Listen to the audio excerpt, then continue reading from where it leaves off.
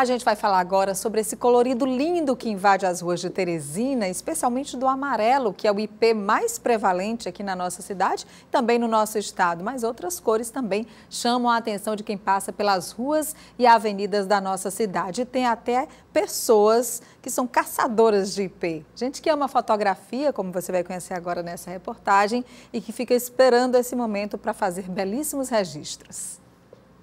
É no mês de agosto que a Mãe Natureza faz um espetáculo chamado Florada dos Ipês.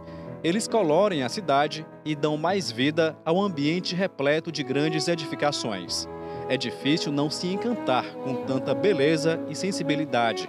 Um espetáculo que acontece apenas uma vez no ano e por poucos dias. Essa é a Valdete Martins, quem olha assim pensa que ela é fotógrafa profissional, mas não é. Não trabalho com fotografia, mas gosto de fotografia. Na verdade, eu gosto de fotografar a natureza, nem gosto de fotografar a gente, né? Fotografo às vezes que algum amigo pede, mas não sou profissional, é só hobby mesmo.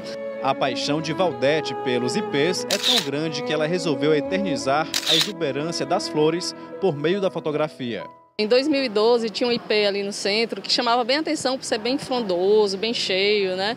E fotografei a primeira vez ele, né? E desde então não parei mais. E tenho arquivos, é, às vezes as pessoas me pedem fotos de IPs, eu cedo.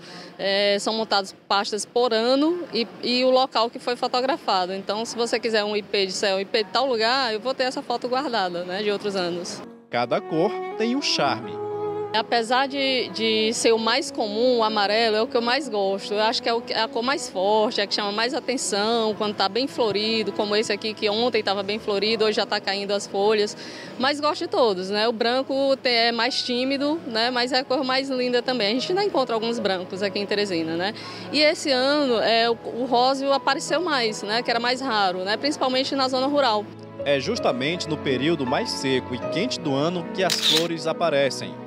Os ipês chegam a formar tapetes de flores no chão, dando boas-vindas aos amantes da natureza.